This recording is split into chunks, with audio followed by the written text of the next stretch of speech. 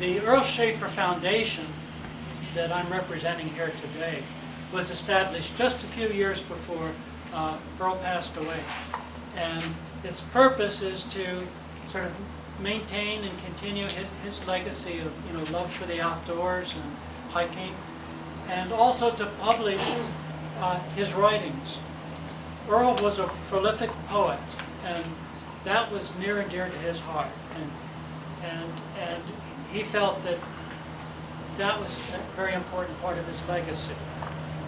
And we have published several volumes of his writings, his, uh, his poetry, mostly poetry that- he wrote during World War II.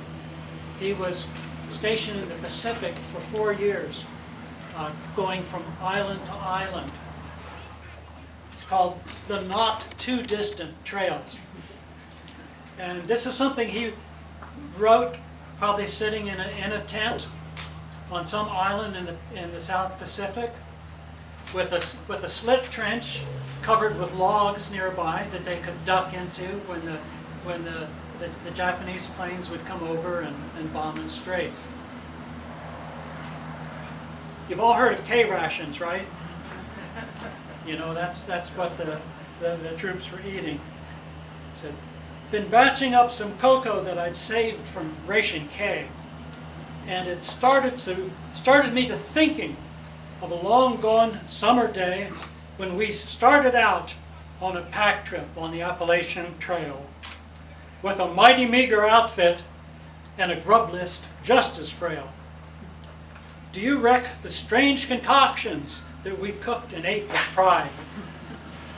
Scads of scalding tea we swallowed, and the rain we took in stride. Do you recall the message we found nailed against a tree of a spring of fresh water we ventured down to see? And we trailed along till sundown on that one lone canteen to the stream beyond the fire tower where the trees were lush and green. Cooked a mess of beans and bacon, almost all the grub we had. Pitched the tent and sort of reckoned that the trip was not so bad.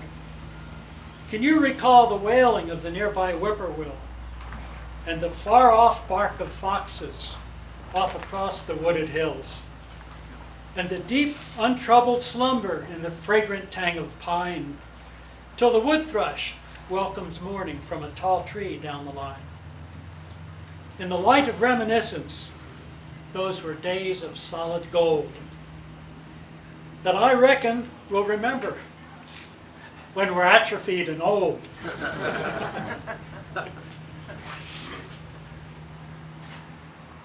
How, as kids, we sometimes wandered on those not too distant hills where you know that home is waiting if your grub or weather fails.